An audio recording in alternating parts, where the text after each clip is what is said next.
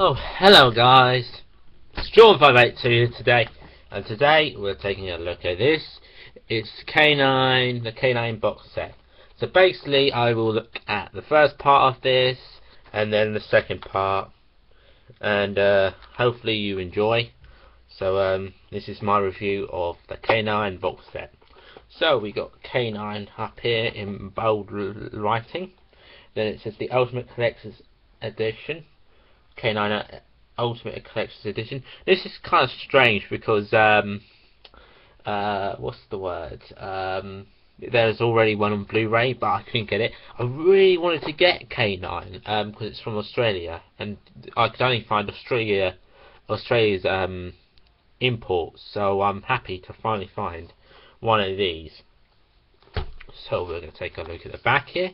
So it's got big huge K9 and it's got the um, little um, um, information about the store, you know, the um, series of K9. So I'll read it out to you. TV's most loved robot dog, K9, blasts back into action via a space-time manipulator and arrives in the 20, late 21st century in London. K, which is funny because it's you know made in Australia. K9 is a cybernetic concept from the 20th, 50th century and has the appearance of an earthling dog, both in shape and size. He arrives at the home of Professor Gryffen, a re-owned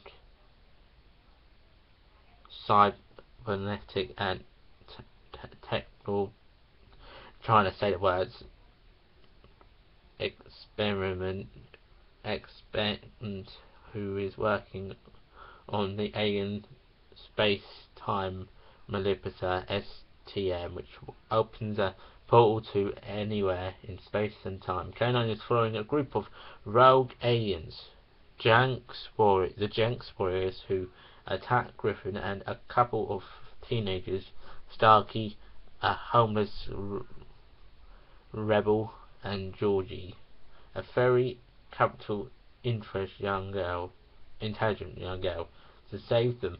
K9 sacrifices himself and explodes, soon followed by his regeneration, thanks to a strange alien detective input in his main frame.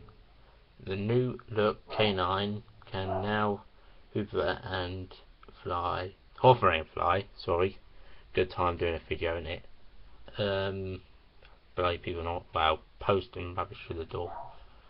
Um, can now hover and fly and has more capitals than ever before. K9 loses his long-term memory begins a quest to not only protect humanity but to discover more about time and space travel past. So, we got it says for this on here 900 minutes. This is how long it's on for. Volume 1 so this is what it looks like.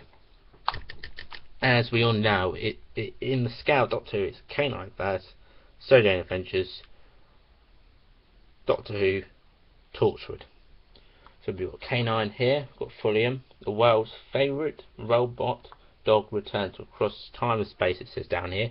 So we've got K9 it says the Fullium and series 1 K9 we've got the monsters back here K9 it's got London Big Ben. The robots the snakes and the monsters. So we've got the episodes down here. A lot of robots in there but there are some that's the Jank Jank warriors Janks and warriors um take a look inside here. So I think each disc has two in.